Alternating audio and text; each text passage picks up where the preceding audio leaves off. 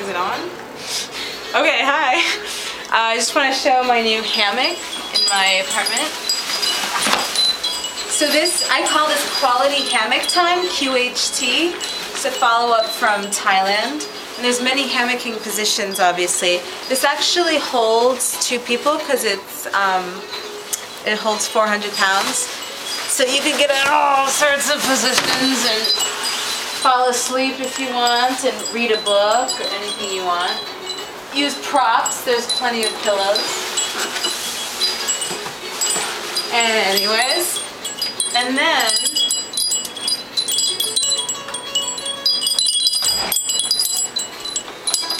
you can just put it away if you want. And there's a new color on this wall. It's it's like this really nice sage green. And obviously, as you can see, all the furniture for my roommates, I'm not into clutter at all, and my roommates had all their stuff everywhere.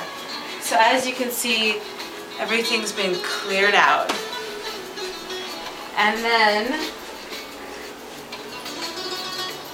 um, okay, let's go.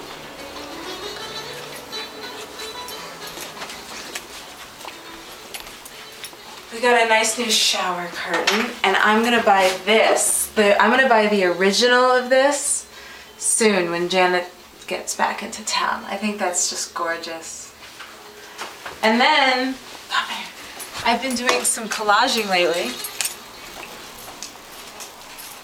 If you follow me, this is one of my money collages, and I actually want to redo it because there's some more. One of my dreams is to buy a whole bunch of houses and fix them up. I think this like perfectly exemplifies that. So, and then uh, like with me and my partner, of course I'll do it by myself if I don't find a partner, but I think it'll be more fun with a partner. And this is, this kind of exemplifies it.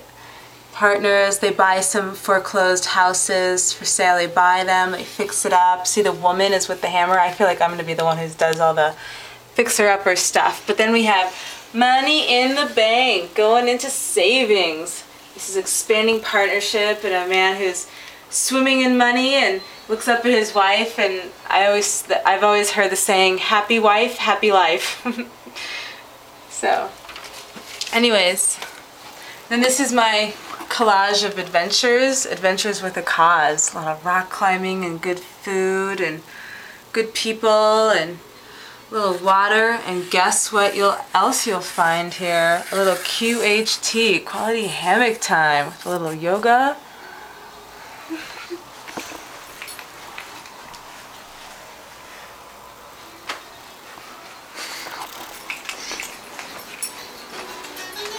Thanks, babe.